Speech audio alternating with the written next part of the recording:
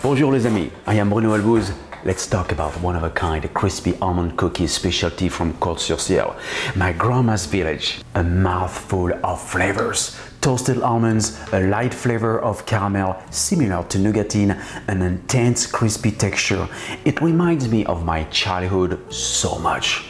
Cordes-sur-Ciel is located near Albi in southern France on the river Tarn, 85 kilometers northeast of Toulouse. The episcopal city around the Cathedral Sainte-Cécile was recently added to the UNESCO. This traditional recipe has only four ingredients sugar, flour, egg whites, and almonds. There is a legend which attributes its creation to Mother Board in the 17th century. To make it gluten-free, substitute flour for almond flour. Let's get to work. First, I am going to toast my almonds. Gorgeous knife.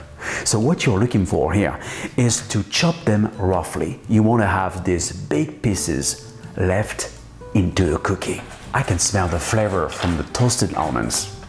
It's awesome. That's it, not thinner than that. You know when I was younger during my uh, summer break, I used to work in different places along the uh, Atlantic uh, coast uh, near Bordeaux or in my grandma's village. I remember making hundreds of croquants every day. what a time. First, almond. Two, I'm gonna add sugar. Three, sifted all-purpose flour.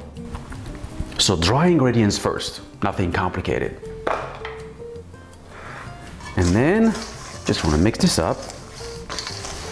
So this is the base of the recipe. You can actually make this in advance.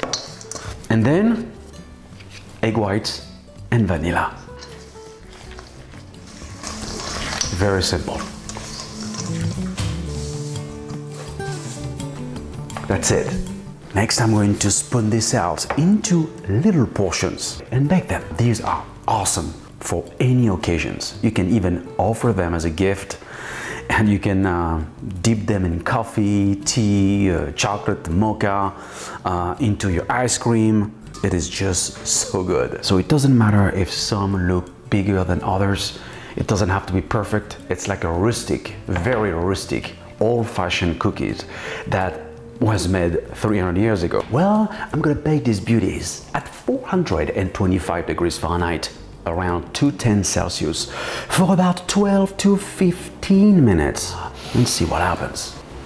So right after baking, you want to transfer them over a flat surface to cool down completely.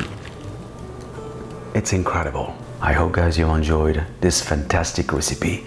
Please subscribe, like me on Facebook, and follow me on Twitter, Instagram, and Pinterest. Bon appetit, and see you next time.